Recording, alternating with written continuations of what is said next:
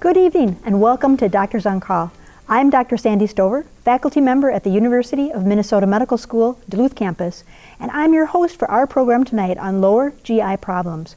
We would be happy to take your questions on colon cancer, colitis, diarrhea, constipation, or any other lower GI questions you might have. The success of this program depends on the questions you, as viewers, send us. Please call in or email your questions and we'll do our best to address them. The telephone numbers and email address can be found at the bottom of your screen. Our panelists this evening include Dr. Jon Reich, a gastroenterologist with Essentia Health, and Dr. Ken Ripp, a family medicine physician with the Raiter Family Health Clinic in Cloquet. Our medical students answering phones tonight are Morgan Kessler of St. Michael, Minnesota, Alexis Knudsen from La Vergne, Minnesota, and Matthew Moritz from Sauk Centre, Minnesota. And now, on to tonight's uh, program on lower GI problems. Well, um, welcome to both of you for, uh, for uh, tonight. And um, we also have some images that we're going to be using just to kind of get people a little uh, aware of how to visualize some of the body's digestive tract and lower GI problems that can occur. And Dr. Reich, I was hoping you could kind of take a look at this graphic and um, kind of outline what we're, what area of the body we're talking about tonight. Sure, be happy to. Uh, so generally we think of the upper GI tract as beginning with the mouth, connecting to a swallowing tube called the esophagus, and then into the stomach and the first part of the small intestine, which is called the duodenum or duodenum. And then there's about 15 feet of small intestine that the food and nutrients travel through as they're processed to get to the colon. And the colon uh, starts down on the right side by the appendix and, and uh, that's where the small intestine empties into the large intestine or the colon. And so the lower GI tract generally we consider as sort of the end of the small intestine and then that large intestine called the colon, which uh, has the segments you can see in the picture there. Ascending colon and then transverse comes across the middle and the descending on the left and then the sigmoid kind of an S-shaped uh, snaky part of the colon called the sigmoid and ends in the rectum which then empties into the anus and that's where feces go out. And so tonight we're going to be talking a bit more about the lower colon, which is, uh, you can see on the graphic on the right. Um, one of the things I think that as a family physician I had a lot of questions on over the years, of course, is colon cancer. That's an, an, an area that's important for people to think about prevention as well as, as screening and then, of course, management. Can, um, Dr. Ripp, can I ask you a little bit about some of the uh, kinds of screening things that are available now for colon cancer screening? Uh, there are several ways to screen for colon cancer. The most important thing is that everyone, when they get to be older, needs to start their screening program. And there are several different ones. Colonoscopy is the most effective because you get a complete visualization of the colon. You can see, hopefully see everything with a good prep. And if there is a problem, sometimes it can be addressed right then and there. Meaning if there's a small polyp, it could be removed or something that needs to get biopsied, you could do it right then and, and start your path to treatment if needed. There also are stool tests that can be done. There's one that you can do yearly and it's very cheap and easy to do. And then there is a, a, genetic marker test that's, you know, that we're trying to figure out still, but it's every three years. It's a little more expensive and sometimes it, it, one of the problems we have is you end up with a lot of positive tests, but then you end up with a colonoscopy anyways. So that one is maybe not as cost effective. The, the screening used to start at 50, but now they've backed it down to 45 to begin colon cancer screening. So. Uh, and um, Dr. Reich, I know that there's certainly concerns if there's colon cancer in the family. So if you had someone who had colon cancer in your family, what level of risk might that be for you? Uh, genetics certainly increase the risk of colon cancer, and particularly in first degree relatives, meaning mother, father, siblings, or children of, of whoever you know, has the cancer. But um, generally, our, our, current recommendations, if there's no obvious uh, genetic um, if there's no obvious genetic mutations in the family, but there's a family member with colon cancer, is that we start at age 40, which, uh, as Dr. Ripp said, it used to be 50, and now we're sort of leaning toward 45 at age 40. But uh, if the family member, the first degree family member, had colon cancer under age, uh, we, we, or uh, 10 years younger than the first degree family member. So if your first degree family member had colon cancer at age 48, then you would start at 38. Mm -hmm. And what are some signs that you might, um, say you didn't have a family history of colon cancer, but you might have some symptoms to be concerned about. What might you, what make you think about colon cancer, Dr. Ripp? Well, one thing about colon cancer screening is we want to get to people long before they have symptoms because if they have symptoms, they are often in a little bit deeper trouble. But if there's any change in your stool habit, if there's any change in the caliber of the stool, obviously any bleeding, any unexplained weight loss, change in, it, it, change in appetite, any of those can be abdominal bloating. Those can be some of the red flags that we would definitely want to investigate quickly. Mm-hmm, mm-hmm. And uh, in terms of that investigation, we kind of talked about the screening. Um, I'm kind of interested too in prevention, of course. We all are interested in prevention. What kind of uh, recommendations do you give Dr. Reich for uh, patients to consider doing to help reduce their risk for colon cancer? Yeah, I, I get that question a lot. And uh, genetics, obviously, you know, can't, can't necessarily beat genetics. But there are some lifestyle modifications that we think may be helpful in prevention of decreasing inflammation in the bowel, which is uh, probably, you know, certainly one of the risk factors for developing colon cancer and polyps and mutations in the large intestine, and certain things that uh, people can modify in their lifestyle. So, uh, smoking, excess alcohol use. Uh, we think that high intake of processed foods, very particularly processed red meats, probably has some factor in, in inflammation, so eating more whole foods, less processed foods. Uh, exercise probably has some protective benefit as well. And so, you know, it's kind of generic to say a healthy lifestyle, but uh, I think that's the case for a lot of illnesses that, that humans, you know, are, are, are deal with. And so um, those are some of the things that I counsel patients on. But you know, just to add with, to what Dr. Ripp says, generally colon cancer is not symptomatic until it's very advanced, and so uh, it's the uh, third deadliest cancer in the United States, and so screening is very actually cost effective, and you know, we just encourage everyone to get screened in one way or another. Um, I think I'm going to direct one more question to you about aspirin. That's been something that's come up over the years about uh, using aspirin to help prevent if you might be at slightly higher risk. What do you think about that? Uh, aspirin has shown to have some protective effects. Uh, it doesn't seem to be as protect so protective that we say you should use it if you don't have other reasons to use it because aspirin actually can cause uh, things like stomach ulcers and things like this too. And so there is potential downside to aspirin use. And so if folks don't need it for something like heart condition, we don't generally just prescribe it for to prevent colon cancer. There are some special cases where maybe there's a genetic condition in the family where, where someone is very, very high risk for colon cancer, then uh, that might be a different story. But in the general population, we, even though aspirin probably has some preventative effect, we don't generally uh, prescribe it for that. Well, and, and just to kind of to um, one more thought about uh, doing screening. How often should you screen with, with colon uh, colonoscopy, Dr. Ripp? What's it, the recommendation? If you're low risk, meaning no family history, you're just a healthy person, a colonoscopy every 10 years, as long as it's normal. If there's a strong family history of colon cancer, one of your first degree relatives, then a lot of times they'll shorten that interval down to every five. And then if you've had a colonoscopy and you're low risk, but they found a polyp, depending upon the size of the polyp, and that might once again shorten that interval down. So, and then the, the stool testing, is once a year for the, just the regular one, and then every three years if you're doing the genetic, the Cologuard. Okay, that sounds sounds good. Um, one of the comments that you made, Dr. Reich, was uh, as we all know that vegetables are good for us. Uh, eating a high uh, plant-based diet, Mediterranean diet, there's lots of things that we know that are helpful. But we have a caller who is concerned and, and curious about uh, vegetables creating excess gas. Uh, there are some vegetables that do tend to be a little bit more um, likely to do that. Dr. Reich, would you like to comment on, on ways that we can help balance that? Uh, that's a that's a very good question, and you know, so it, it's very fascinating how different people's digestive systems handle different foods, and um, we think that probably some of the reason that people get bloated and gassy with certain vegetables is they probably just have a little bit of an imbalance and maybe some of the healthy bacteria or different bacteria in their intestine. And you know that discussion could be hours and hours. It's just very cutting edge things that are going on with studying the bacteria in the, in the intestine. But um, there are certain vegetables uh, for a lot of people who, who tend to be more gas forming broccoli cauliflower uh, beans tend to be uh, culprits from that. And you know generally you say small amounts, sometimes cooking them, steaming, uh, softening vegetables can be a little bit easier on the system too.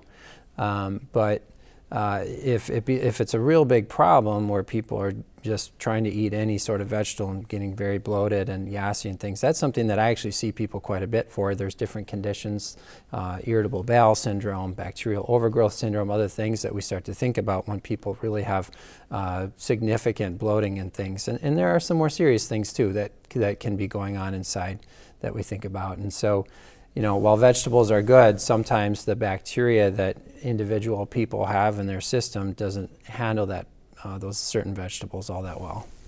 Oh, which is a, there's a question about the biome that I think is interesting. Um, and Dr. Ripp, I know uh, people come in with questions about biome, how they can help their right. own biome to stay more healthy. Do you have recommendations that you talk over with people? Uh, yes. So the, the, the biome that lives inside of you is actually determined very early on. Within the first few weeks of life, the bacteria that are going to live in your gut are already predetermined. Um, so it is hard to shift it. Now, some people do can get a benefit from uh, using a probiotic, and that is sort of an experiment for each individual. And we sort of say, if you try this and this really helps you, fine. But some people try the probiotics and get no benefit. Maintaining a healthy uh, biome in your gut can be a few things. If uh, certain antacids, if you're on antacids chronically, that can shift the biome a little bit because you're you're not allowing the you know you have no sometimes produce no acid in your stomach, and that can sometimes cause a shift. And then if your diet is, uh, you know, depending on what you're putting in, sometimes can promote growth of certain bacteria that might make you more gassy or crampy. So a lot of times it is a little bit of experimentation on the patient side to figure out what works and what doesn't. So. And Dr. Wake, what are your thoughts about probiotics and adding something like that? Oh, so probiotics, you know, the, the, the experts have just gone back and forth so much on probiotics. And, and I could, like a lot of topics, I could probably talk for very, way too long on that. But uh, Dr. Ripp, I totally agree in that some people get great benefit from probiotics and some people get none. And it's a little bit of a different concept to understand. There's so many different options out there with so many different strains of bacteria. And when you look at big studies that combine lots of other studies, they say, yeah, probiotics look to have some benefit in people with irritable bowel. But when you look at kind of individual ones, there's no one that seems to be just right. And the number of bacteria in your, particularly your colon, there's more bacteria than there are stars in the sky. It's one of the most diverse ecosystems and all uh, all of animal kingdom is the human colon, and so um, you know taking a pill with some bacteria when you have so many already there, it, it's difficult. We don't understand why it works for some and, and doesn't work for others. But I usually say to patients, it's safe. You know, in general, probiotics are safe, and um, if it helps you, then that's wonderful. Maybe you are replacing, uh, or you know, maybe your balance of bacteria, you're fertilizing a little bit with better bacteria. Um, I've got another question that was called in, and I'm going to ask you, Dr. Ripp. Uh, this uh, patient called in and said that I have occasional fecal leakage after normal bowel movement, and could there, could you have a recommendation what the cause might be? It a little depends upon the age and the sex of the person. Mm-hmm. If it's a female and they've had a delivery, a lot of times there can be trauma to the rectal muscles that control that. So that's a possibility, and hopefully that heals over time. Sometimes people can have a nerve injury that can make that sphincter just not be as tight anymore. Just as if you you know have a bad pain down your leg, that nerve can get weak. Some people can have a genetic condition or trauma to the area or a surgery and then sometimes it's just like every other part of your body. Some people just, that muscle weakens over time. So if that is something that you definitely want to bring up to your doctor, talk about, sometimes there can be an external something pushing on it that's making that happen.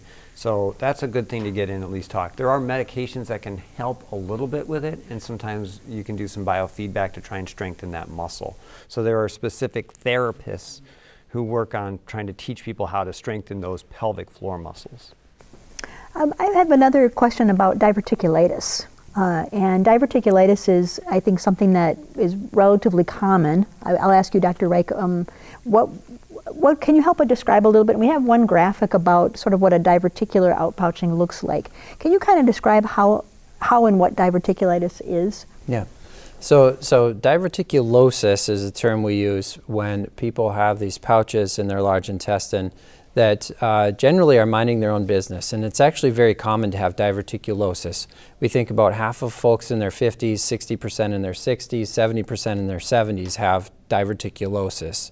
And, and, we think that probably some of this is Western diet, genetics, uh, but over years of probably having a little increased pressure in the colon, uh, leads to these little areas of weak spots in the colon where the blood vessels enter and exit to deliver the good sort of blood and oxygen to your colon. It's just a very weak spot, and over years it kind of slowly pouches out and becomes this little bubble almost in there.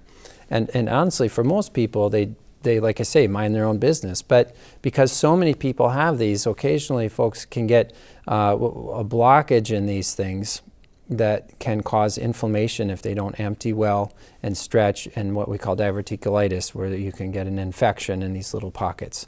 Uh, and, and, it's quite common just because so many people have diverticulosis. And what kind of symptoms might someone have if, it, if you went past the diverticulosis and went into the more inflammatory diverticulitis? What would that feel like? The textbook symptoms are to have pain sort of on the lower left side of your abdomen, and uh, usually it doesn't change your bowels all that much as far as you know your bowel movement. Sometimes people uh, maybe have a little bit looser stool. Sometimes people get constipated, but usually it's pain down on that left side, and sometimes people can get fevers associated with it as well. Is there anything people can do to kind of help reduce the chance of developing the diverticuli? Well, I think there aren't the one thing that, that I've read recently that may be a little protective against diverticulitis and symptoms of these diverticula is eating fiber, particularly um, whole grain fibers, bean fibers, things like that, soluble fibers, as they say. Um, there used to be a recommendation to avoid things like popcorn and berries and seeds and things of that nature. The, the, the research doesn't really bear that out. Now, I have had patients come and tell me, oh, every time I eat popcorn, I get pain down here. And I say, well, I think I have a solution for that. You know, and so certainly if there are foods that cause trouble, we generally say to avoid that. But, but usually a healthy diet with good healthy fiber is the way to go. Well, and another kind of an outpouching that a lot of people experience in the, in the uh, lower colon is hemorrhoids. And uh, Dr. Ripp, I'm going to uh, ask you to help um, give some ideas about first kind of prevention and then thinking about what might you do if you did have some outpouching right at the at the rectum itself. That, uh, describe so, the hemorrhoids. So, so we'll start off with just what a hemorrhoid is. So you know, there's a few places in the body where the circulation, the arteries and veins sort of meet, and you can get a pooling of blood. And so a hemorrhoid is a vein that's sort of blown up like a balloon, not like a diverticuli, and they can be above a certain line called internal or external ones. The external ones tend to be itchy and irritated and they're very painful. The internal ones tend to not be painful, but you'll feel a lump or a bump down there. Anytime you have a lump or bump anywhere, it's time to go get it checked to make sure it's not something more because you don't want to say, oh, it's just a hemorrhoid and have it be, unfortunately, an early colon cancer. So, but usually hemorrhoids develop, sometimes it's genetic, sometimes after a lot of straining. So most women in labor will have hemorrhoids just from the straining. And then if people do a lot of heavy lifting, a lot of sitting can be bad. Or if you're sitting, especially like when you're sitting on the toilet, just puts a lot of pressure on those veins and they can swell. So it's a good idea not to spend a long time on the toilet because that promotes those, the formation of those hemorrhoids. The internal hemorrhoids can be banded if they're bothersome. The external ones, a lot of times they will either resolve on their own with some topical stuff you can buy over the counter, or there's some medicines that we have that might help heal them faster. And sometimes they need to be, if they're very painful and acute, will be drained right in the office. And, and if, they're all, if it's recurrent or bothersome, sometimes they actually end up going to the operating room and having them more thoroughly removed. And in terms of thinking about helping to reduce the, the likelihood of them forming, um, is there dietary things you'd recommend? Uh, once again, you don't want to, you want to keep, if you're eating well, exercising regularly, hopefully your bowel movements are reasonably soft, not hard, but if you're straining to have a stool, that is really going to promote you having a, a hemorrhoid because you are now just forcing all that blood down there and, and that's one of the things that can make it worse. But any heavy lifting, if you're doing a lot of heavy lifting, that can definitely promote it too. We've had a couple of, of questions together that's a, a, very good point we didn't quite get to in talking about colon cancer. Um, we have a, a, question from a 79 year old and an 84 year old about the, the thought about how, how, at what point do we not screen for colon cancer in terms of, of age? Dr. Egg. The, the general recommendations are that after age 75, you individualize screening for colon cancer. And so generally we recommend colon cancer screening to folks until they're about 75. Um, of course, there are other conditions that, you know, you would say if you have other life-limiting conditions, um, you probably don't need to, but after age 75, we weigh what is someone's risk of colon cancer. For example, have they had polyps before? Have they had first degree relatives with colon cancer? Uh, along with how healthy is the person, you know, if, um, and, and it sounds sometimes a little caustic to say, but uh, if you're over 75, should you be getting colon cancer screening? And we say, well, do you think you have, you know, maybe 10 good years in you? Because if you do, then it's probably reasonable to do colon cancer screening. And the reason I say that is because the time it takes, we think, from a small precancerous mutation or polyp in the colon to grow large enough and become troublesome and turn into colon cancer is probably between 10 and 15 years. And so, um, we, and then at, at age 85, we generally just say, yeah, you don't need to drink all this laxative and come and get probed again. It's, you know, you've had a good run. But. Uh, and there's a question that, to, to some extent too about the prep that came up. Um, that the prep for, for a colon cancer screening for a colonoscopy can be kind of difficult to do for some people. Dr. Ripp, do you have recommendations for the colon um, prep that might be easier for people when they're going into their? There's, there's uh, the old prep used to be a huge gallon jug of seawater basically that was just brutal. And now the newer preps are less volume to drink. They are you still need to clearly evacuate your your your colon and and for uh, especially as you get older, that can be you know challenging because it is a draining procedure, no pun intended, but you know, if you take a 78 year old and they do the prep at home and they stand up and pass out and hit their head or break their hip, boy, was that the right thing to do. So as you get older, the prep becomes more difficult. And sometimes for people who are on the edge, we'll actually observe them in the hospital and do the prep. We don't do that much anymore, but uh, we used to do that for people who are too high risk or someone, you know, who has, you know, has a, you know, red flag and we have to look at them. Sometimes it's safer to do it under observation. We've had a question too, a good question about some of the inflammatory bowel disease that's out there. And the, this question is about Crohn's disease. Can you talk a little bit about how you might know if you had Crohn's disease, if there was a family history particularly? Uh, Crohn's disease is very tricky. So Crohn's disease, the other common inflammatory bowel disease, is ulcerative colitis, and uh, the the the uh, prevalence of these is, is increasing uh, all the time in, in, in our country and we're not exactly sure why, but that's kind of a different discussion. But what kind of symptoms might people have with Crohn's or ulcerative colitis? So, uh, for Crohn's, particularly abdominal pain, diarrhea, um, blood in your stool. Um, for Crohn's, it can act, it can be located anywhere between your mouth to your anus. And so there's all kinds of different symptoms people can present with with Crohn's disease, but unintentional weight loss. Sometimes even people can get skin rashes along with bowel symptoms from Crohn's disease. And so, you know, if you have a family history of Crohn's disease and you're having concerning digestive issues, uh, you definitely should talk to your doctor about it. And sometimes it, you know, it is going to require us to do things like scans or endoscopies, colonoscopy, things like that to, to confirm or not the diagnosis. Mm-hmm. Uh, it, when you have the kind of symptoms you described, um, you talked about them being more longer term, but but um, if someone has symptoms for just a couple of weeks, would that be considered a concerning amount of, of loose stool, or um, what other causes could there be for loose stool? Uh, the definition that we kind of go by as far as change in bowel symptoms, particularly diarrhea, is is if you have symptoms for more than a month know, if you've if you've been tested for infection, let's say, and that's not there, and you have these symptoms for more than a month, it usually requires, or, or at least merits some further evaluation. Two weeks of change in stools can be, oh, there's so many different things that can cause that. Uh, a mild viral infection, a medication change, even just a diet change or eating something that didn't agree with you. And so, you know, a couple weeks usually is unless you're very, very sick. But uh, a couple of weeks generally, we say, let's give it a little more time. And I just had a good question about uh, some of the proton pump inhibitors, which are medications to lower acid, but in particular one pantoprazole. Is that is taking that for a long time a concern for someone? Uh, Dr. Ripp? Uh, Well, yeah, they're they are they're great medicine, and they are almost too great of a medicine because they suppress your stomach acid. Now we're in the upper GI tract so much that it can affect you if you're on it for prolonged periods of time. It can delay or decrease absorption of certain vitamins and minerals.